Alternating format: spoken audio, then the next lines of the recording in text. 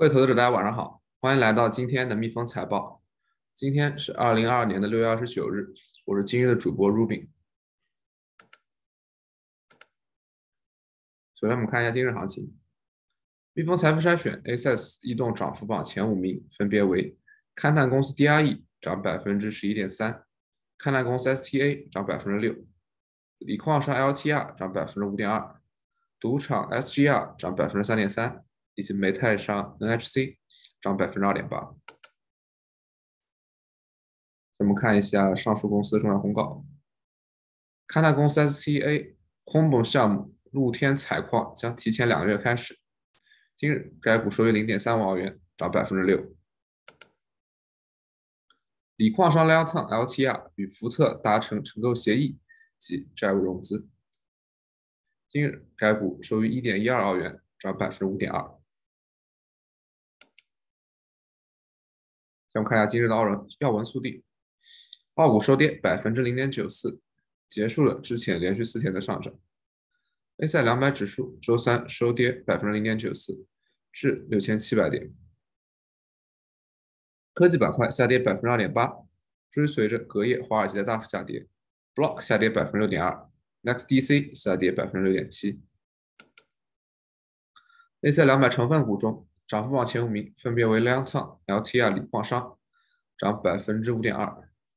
；Sky City SKC 新西兰赌场涨百分之三点九；SGR 呃 Star Entertainment 也是另外一家澳洲的赌场，涨百分之三点三；AZJ 铁路服务商涨百分之三点一，以及 Viva Energy VEA 油气公司涨百分之二点一。跌幅榜前五名分别为 Taro Payment。TYR 支付公司跌百分之十六点六，MU 医疗公司跌百分之十三点九，Car Sales C CR 广告公司跌百分之十二，SLR 金矿公司跌百分之八点一，以及 REIT CLW 跌百分之七点三。蔡若首席执行官离任，股价一度暴跌百分之二十。支付公司 Taro Payment 股价上午一度下跌百分之二十，收跌百分之十六点八，至零点六澳元。该公司表示，其首席执行官罗比·库克已经提前六个月通知，他将离开公司，并宣布加入赌场运营商星空娱乐 Star Entertainment，作为新的董事总经理兼首席执行官。过去一年里，随着金融科技业务出现大范围的崩盘，该集团的股价下跌了百分之八十二。澳大利亚五月份零售销售额增长百分之零点九，五月份零售销售额环比增长百分之零点九，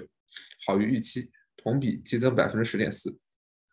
澳大利亚统计局 ABS 表示，五月份的增长是零售销售额连续第五个月增长，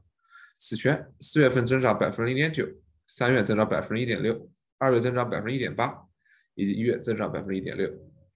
百货商店的涨幅最大，上升了百分之五点一。其次是咖啡馆、餐馆和外卖服务，其他零售业、食品零售业和家庭用品零售业。就我们看一下今日的评级更新：食品商 CKF 被 Morgan Financial 升至增持评级；博彩公司 TAB 被 Macquarie 升至增持评级，目标价为一点二澳元；科技公司 XPN 被 Shaw Partners 升至增持评级；金融机构 LFG 被 Credit Suisse 降至持有评级，房地产商 GPT 被 Morgan Stanley 降至卖出评级，目标价四点三澳元。蜜蜂财富智慧理财全球精选，私人定制，家业常青。感谢您的观看，我们明天再见。